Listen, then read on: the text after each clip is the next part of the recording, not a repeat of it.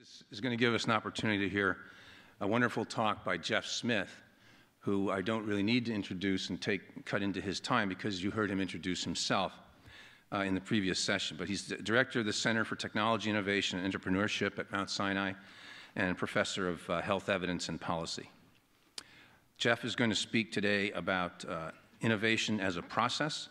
That will be followed by a panel that um, will be uh, moderated by um, me and Maryam Jahanshahi, and will involve uh, Dean Nicholas Jones, uh, Professor Smith, and Ross Kagan. Uh, Dr. Kagan will replace Elazir on the, uh, on the panel. So, Jeff, wherever you are, you can't see much from up here. I'm hiding back. Oh, there you are. All right. Well, if you're not sick of hearing me yet, you are definitely going to be sick of hearing from me before the end of today. It's good when you get that last minute uh, invitation to speak because it's hard to get nervous because you didn't realize you were going to be up here. Um, so I gave a speech to the uh, Medical Student Research Day uh, earlier this week, and uh, I didn't have this slide. Um, and it's sort of interesting, you know, it didn't even occur to me that, you know, I ought to have a slide up there about financial interest or disclosure. It was particularly ironic because the talk was about the FDA and how I thought we should do away with it. And I suppose for certain of my companies, uh, they might benefit from not having a regulatory, regulator. Uh, but I stole the idea for the slide from George Church from Harvard. So I am the founder of ABV, which is an early stage venture capital firm.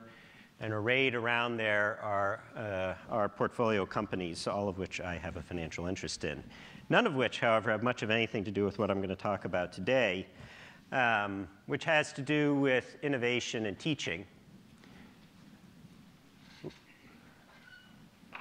So in creating this uh, Center for Technology, Innovation, and Entrepreneurship here uh, at Mount Sinai, what I think a lot about is cutting across typical disciplines. So if you look at the big circle up there that says biological sciences, you know, that's what schools like Mount Sinai focus on. However, when one thinks about the last panel and what is necessary to get a biologic insight from your lab out into the market to do translational science, you actually have to think about a whole range of other things. You have to think about how you're going to finance it, how are you going to manage the project, what are your intellectual property concerns? Uh, what are the regulatory concerns? Ethics, am I disclosing properly? Um, and a full range of engineering concerns that come up through the technology development process. And so what we'll be developing over time here at Mount Sinai is a much more uh, integrated set of teaching tools to provide both students and faculty access and training in these other areas. Uh, these areas that need to intersect with biological sciences so that we can do a better job of moving our technologies out into the marketplace.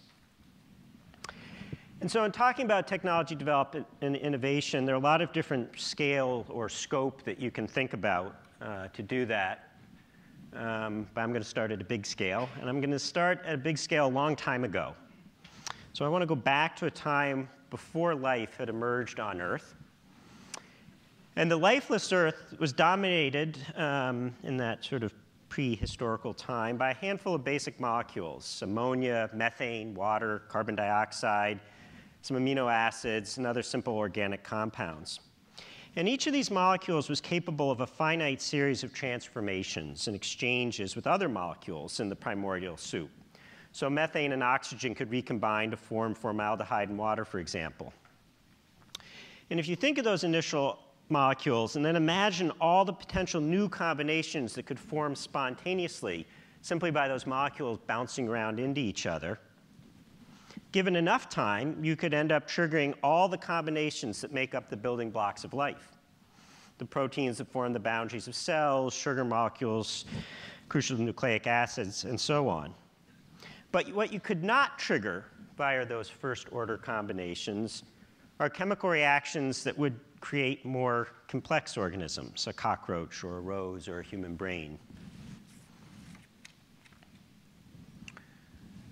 And so a biologist named Stuart Kauffman uh, coined a memorable phrase, which was then popularized by a science writer named Steven Johnson, um, for these first order combinations. They call these first order combinations the adjacent possible. And what the phrase captures is both the limit and the creative potential of change and innovation. The adjacent possible is, you can think of it a little bit like a shadow future. It's hovering just on the edge of the present state of where things are today. And it's a map, in some ways, of all the ways that we could reinvent the present today. But it's not an infinite space. It's not a totally open playing field. Right? The number of potential first order reactions is big, but it's not infinite. And what it tells us then, the adjacent possible, is that at any moment the world is capable of doing extraordinary change, but only certain extraordinary change can happen. But as you explore, as you do your science, you open doors. And if you pick the door on the right, you create one addition set, additional set of adjacent possibilities. On the other hand, if you pick the door on the left, you create another and different set of adjacent possibilities. And this is somewhat how we go through life, opening doors which expose new opportunity, which allow us to move into that next potential set of adjacent uh, innovation. So the question is, is the ability to open these doors and expand the adjacent possible an innate talent? You know, everybody has that friend who they think, boy, she's really creative. And then I looked at myself and I said, I didn't get that gene. And the question is, did I not get that gene or did I just not learn the process? And so, as with most things, talent helps for sure. But innovation is, in fact, a skill, and it is a process, and it's something that can be taught in a structured manner. And I've recently launched a course here at Mount Sinai called the QED Project. There are probably some poor benighted students who are in the class or out there in the audience, and you have to hear some things that they've already heard. Uh, but what the course sets out to do is just that, to teach innovation as a process. And so thinking about a structured process for identifying and inventing technology-based solution involves three phases. You need to identify a need. You need to invent your technology-based solution, and then you need to implement the solution. Today I'm going to talk very briefly about identifying a need. I'm not going to talk about implementation at all, but I'm going to spend a few minutes thinking about the invention phase of that three-step process. And so the first part of this is thinking about um, needs finding, and actually the uh, process described is really when you're starting from scratch, clean sheet of paper, new team, brand new. And for the new team, the first thing you actually have to think about is what is it we're doing? What are our strengths and weaknesses as a team? How are we going to set a, a group of criteria that determine whether or not we want to pursue a given problem? And so there are a whole bunch of steps in that process. But coming out of that, you would have defined a strategic focus for your team. And the next step then is to identify a problem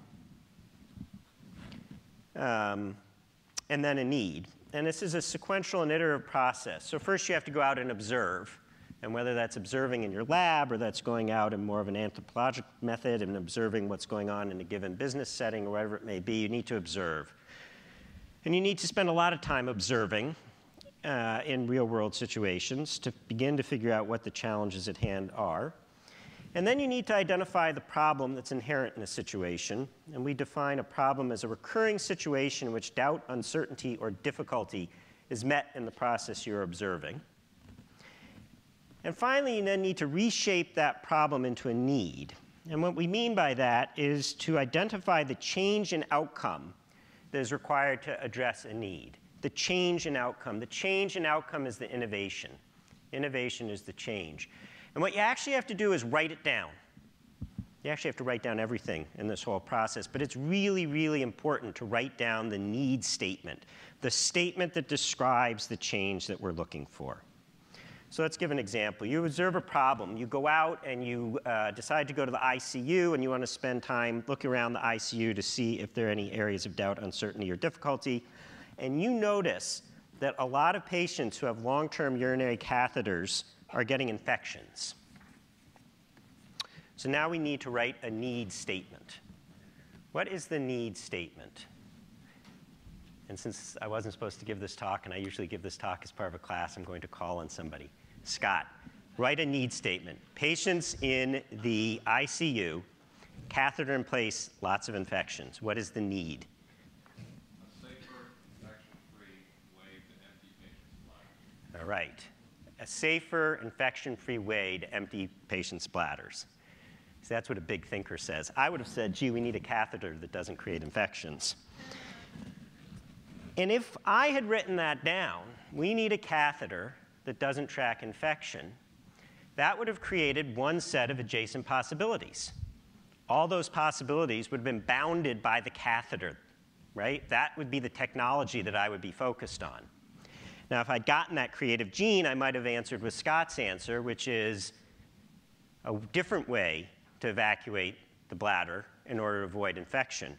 Well, now I have lots of opportunity open to me. My adjacent possibility could be a better catheter. It could be a depot of an antibiotic. It could be some non-catheter based solution. All kinds of different ideas come forward. So what you write down, what you define as the need that you're going to address creates the technology opportunity for you, creates the adjacent possible set of things to move into. And so this is a very critical and important step in this innovation process. And then we go on to build off the need statement. And we take on a variety of analyses to help us determine if a given need is in fact one that we really want to pursue. So we do a gap analysis. We look at all the potential technologies for avoiding the bladder. We look at all technologies related to infection. And we begin to build a map to show us where there are gaps in the current state of care that could be solved by different technology solutions. We draw a different map. We look at every stakeholder involved in this process. So you can look at a clinical level. Nurses are involved, doctors are involved, the ICU, the critical care doctor, maybe the primary care doctor. There are a whole bunch of people involved. You could look at it from a hospital administration perspective. Are the infections keeping the, hospital, the patients in the hospital longer and therefore costing the hospital money or perhaps making the hospital money? You could look at it from a company perspective, can I sell more catheters if I do away with infection? You can look at it from the patient perspective. You have to do a very wide ranging stakeholder analysis to understand all the people who are either going to win or lose based on your invention of a new technology. You need to do a market analysis to the extent that you think that this is something that you want to pursue commercially. You can do a top up analysis or a bottom down analysis. But having done all these analyses, we go back to our need statement and we draft a need specification. And that's a specification that summarizes in a single document all the various components of this first part of the innovation process. The need statement, what the underlying problem is, all these collateral analyses that we've done, and the criteria necessary for a technology solution to create the change that will solve the problem. What are the acceptance criteria? What are the criteria by which we determine that the technology that we've invented is in fact a good one, a good solution? So with that specification in hand, it's now time to invent. And I did forget one part of this portion of the talk. One of the things that you do when you get out there and you talk to people is you're trying to identify you know, problems and all. And so you talk to people and you need to listen to them. But Henry Ford was famous because he said, well, if I'd gone out and talked to my customers, what they, what they would have told me they needed was a faster horse. So this is, in fact, where the invention process has to include some creativity right? You have to listen, you have to synthesize, you have to analyze. You can't just take at face value what everybody's saying to you. Because in part, a lot of what you're hearing is the received wisdom. The reason that we get these catheter problems is because that's how we get urine out of the bladder when the patient's in the ICU. Well, maybe, but maybe there are other ways to deal with it too. So you have to be very careful as you're going through that process to add some creativity, to add some critical thinking, and not just rely on what you're hearing as the received wisdom. But in any, any event, if you've gotten through all that, it's now time to invent a new technology. And there are three things to work with uh, during the technology invention phase of things. They're facts, they're ideas, and they're solutions.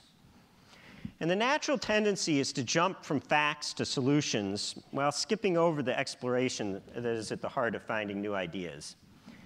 I've found that scientists are particularly experienced with fact finding. For the students in the room, I bet you're all awesome at facts. You've written down facts on tests your whole life and done really, really well at it. So I'm pretty comfortable that you can handle the fat phase of things. And we're all pretty good at looking at solutions. We may not always think the solutions are the best that they could be, but we are pretty good at identifying a solution when we see them. But what we're going to talk today about is the process of creating new ideas. And you know, very often, uh, this part of things is uh, almost dismissed as being you know, childlike or playful. I'm sketching, I'm thinking, I'm doodling. It's not seen as something that's really as hard and solid as facts or as valuable as a solution. But it should be as important as both of those things, for it's at the heart of this exploration of possibilities that we really need to focus on finding out what is possible, what is adjacent to our current reality. So Tom Kelley is a very uh, famous industrial designer. And what he says is that the devil's advocate may be the biggest innovation killer. We're going to spend a few minutes trying to unpack this statement and understand why that may be true.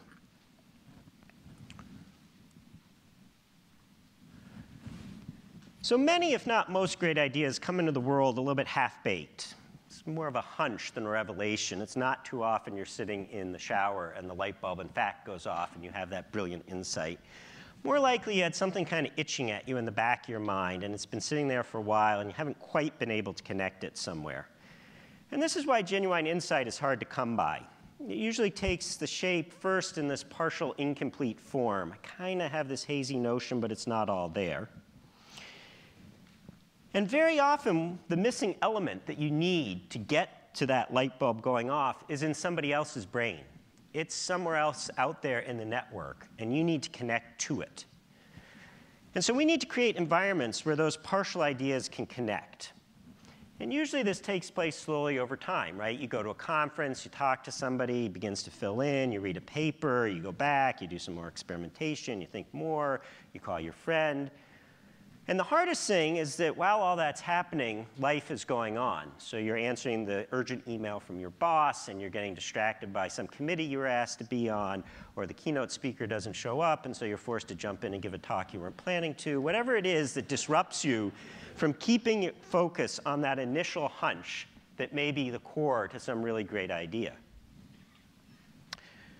So innovation is in part a design problem. Can you design a system that allows you to keep your slow hunches alive long enough that you can cultivate them into an innovation? But it's also a design problem in the sense that you can design a process that allows you to generate more ideas. And this is on the theory that quantity will eventually produce quality. And that's what we're going to spend today talking about. It's how do we follow a structured process to generate ideas. Um, so this uh, notion is called brainstorming. And when you say that, people look at you and typically walk out of the room because it's gotten kind of a negative connotation to it. Anybody who reads the Dilbert comic strip probably knows why it's got a negative connotation to it. Uh, but it's actually uh, an important tool.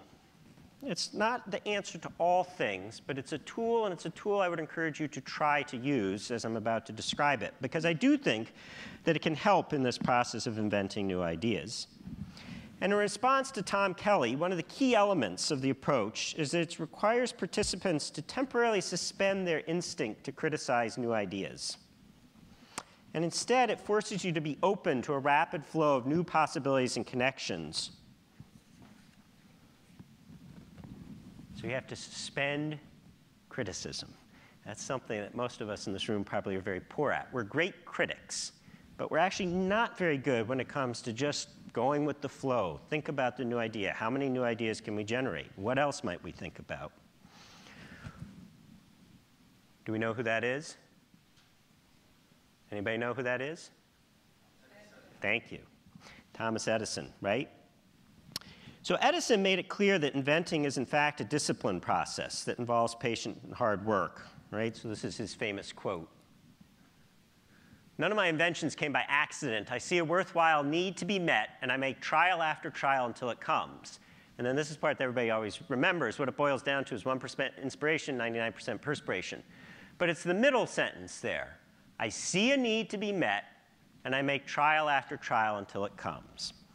So he saw the need to invent the light bulb, and he needed a filament. How many filaments did Edison try before he hit on the one that worked? Ross, how many? Order of magnitude? Seven. Scott? 50. John? Thousands. Thousands, plural. He tried thousands of filaments, which of course means what? He failed thousands of times before he found the filament that actually went into his commercial light bulb. And what's interesting about this is that we all hold up Edison as this individual icon, right? I mean, he is the inventor. But what he really was was part of a multidisciplinary team of innovators that worked out of Menlo Park as a group. And he knew that the quantity of idea was as important uh, to getting to the right answer is the light bulb going off, and that the failure of many of these potential solutions was inevitable. And that's where our critical nature comes to be a problem. You have to fail, hopefully not thousands of times. But you have to be open to having enough ideas that some number of them, whether it's six of the seven or 49 of the 50 or 2,999 of the 3,000 can fail so that you eventually get to the right answer. So I want to give you four broad themes to think about when we're thinking about generating ideas. And the first one is that ideation at this stage in the innovation process, remember it's a process. We've gone through a whole process to identify a need, write down a need statement, create a specification, create a set of criteria that are going to allow our need to move ahead. And now we need a very specific mindset that is different from any other required during the portion of our innovation process. Because everywhere else in the process, we're going to be highly critical. We're going to be highly analytical. We're going to do gap analysis and market analysis and engineering analysis. But right now, we're not. We're just going to open our minds. We are going to put the critical filter aside for a moment. And we're going to set all of our preconceived notions aside for a moment. So whether you think that this idea is possible or impossible doesn't really matter just now. All that matters right now is that the idea is new. And at this point, perfect is the enemy of idea generation. So even if you think the idea isn't quite right, we still need it. Then the second thing we need to do is cross-pollinate. So there are abundant opportunities to look across specialties, to adapt technologies from one area to another.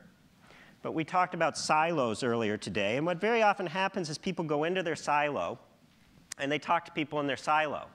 And that's great because you have a shorthand, shorthand way of speaking. There's lots of stuff you don't have to cover, right? So if you're sitting in there and you're working with your Alzheimer's research buddies, you can talk to them in shorthand because you're all kind of doing the same thing. But the problem is it gives you one very small view of the world. And if we're trying to generate a lot of new ideas, and we're trying to get out beyond the norm, then we need other people. We need an engineer or a computer scientist or a business person or an industrial designer, people who are going to think differently. So one of the things I find with scientists is that they all tend to label. They're very good at labeling. So people say to me, well, you know, you're not a scientist, you really wouldn't understand. Or almost worse, they say, I'm a scientist, this is the way I think, as if to say they can no longer think in any other way. And that's part of this problem. We have to be more open to cross-cutting across different disciplines that's a stage, because we have to apply this methodology at different stages of the innovation process. So we may apply the the, this uh, methodology to come up with a new solution, invent the technology we're developing. We may then want to use it later to figure out how to market it.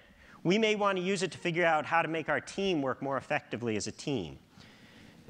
We may want to uh, design an improvement in the function of the technology, so we may want to come back to using this.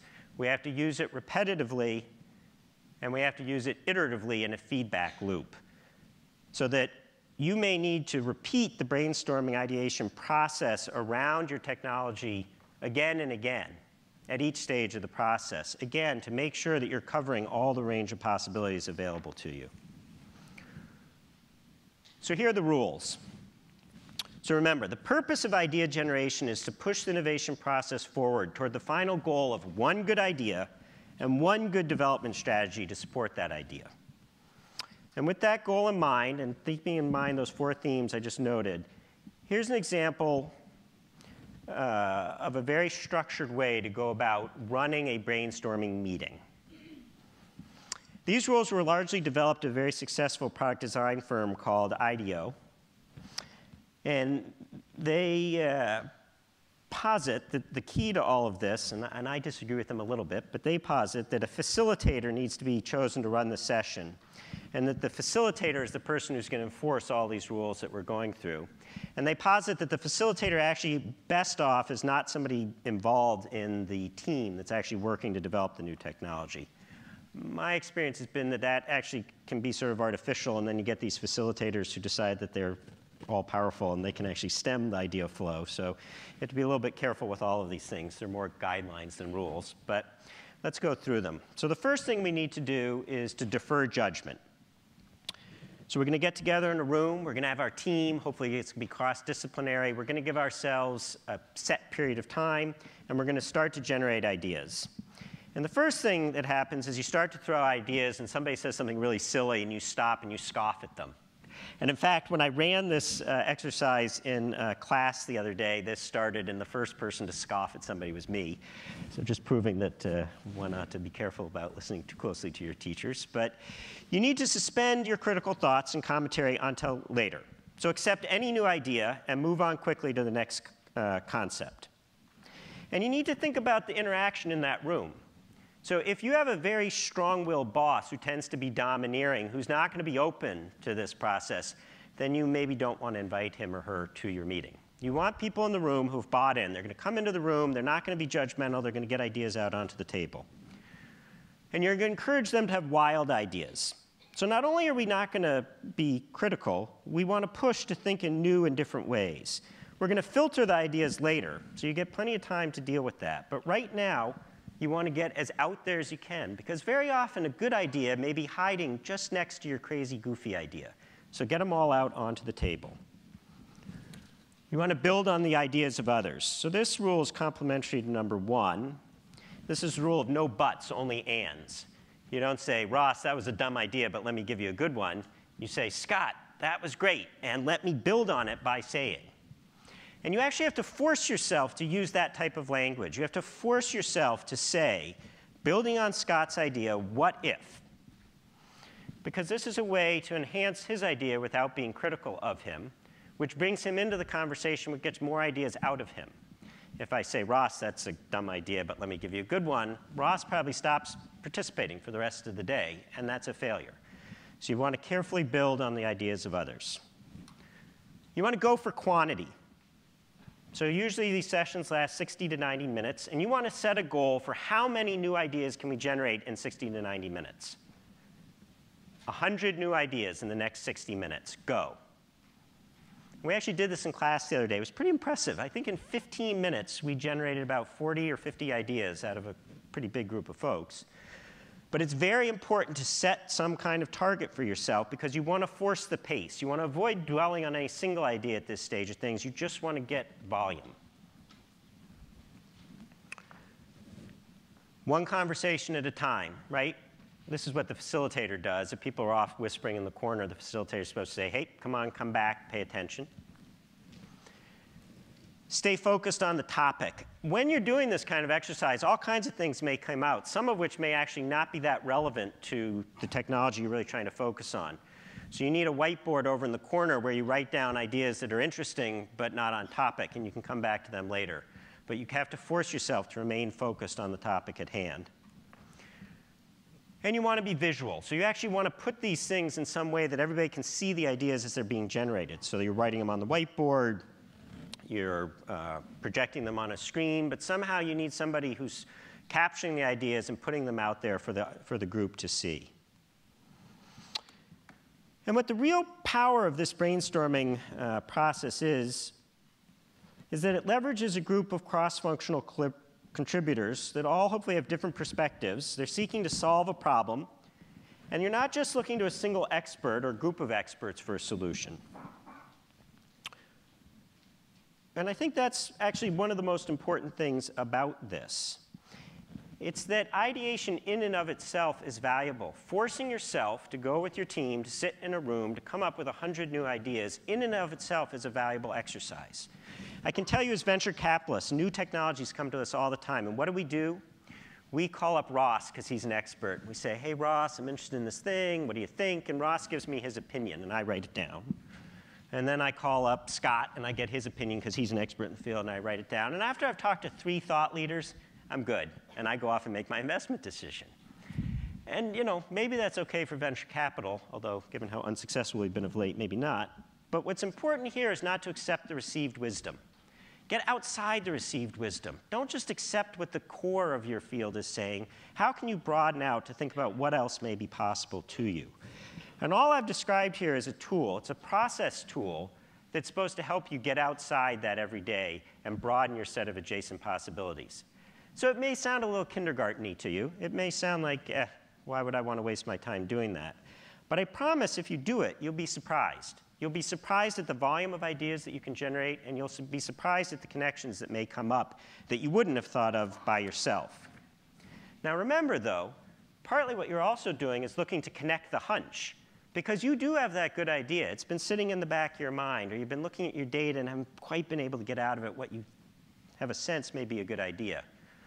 You want to connect that slow process to this fast process. And in doing so, you'll open up a range of new possibilities for yourself. So here's an example of a real uh, brainstorming session that led to a venture-backed company.